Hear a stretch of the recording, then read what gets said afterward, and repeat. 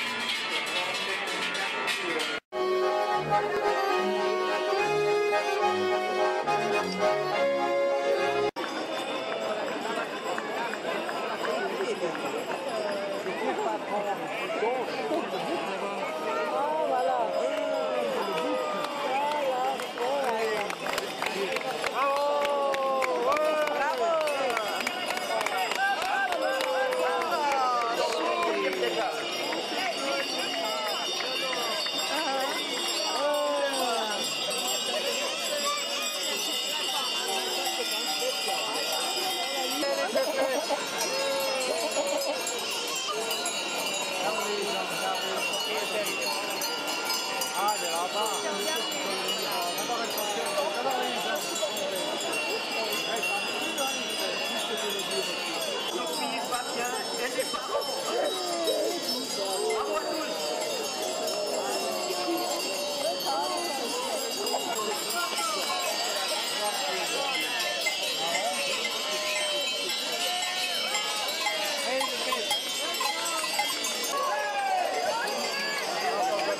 E agora vem mais vacas. Das vaquinhas, 90 vaquinhas. Elas desceram as montanhas, duas horas caminhando até chegar aqui.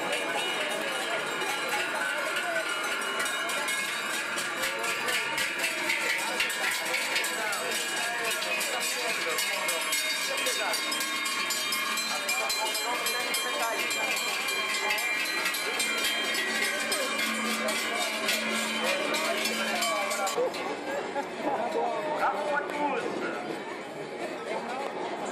Uh, que xixi.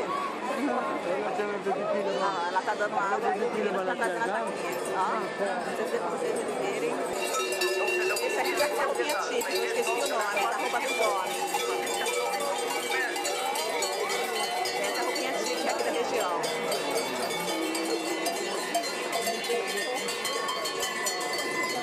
E a roupinha daquela menina que tá ligando água ali, para pessoas, tá ali fazendo a taquinha. A roupinha chama Isaquion.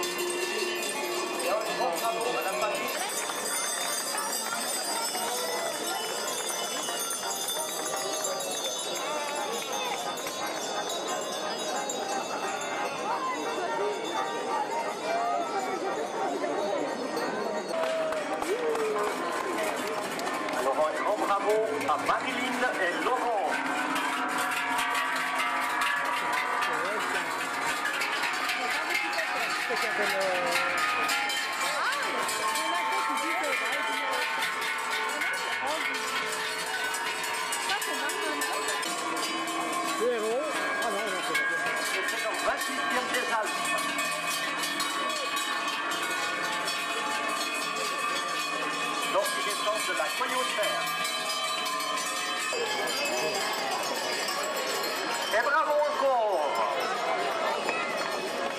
Applaudir Martin, bravo Martin, il arrive sur le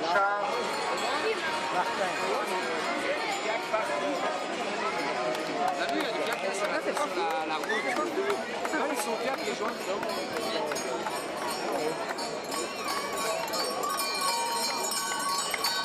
Bravo Martin, bravo Patricia pour votre super merci.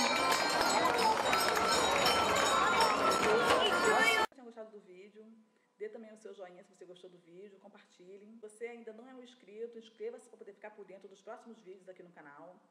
E é isso, pessoal. Beijo, tchau, tchau.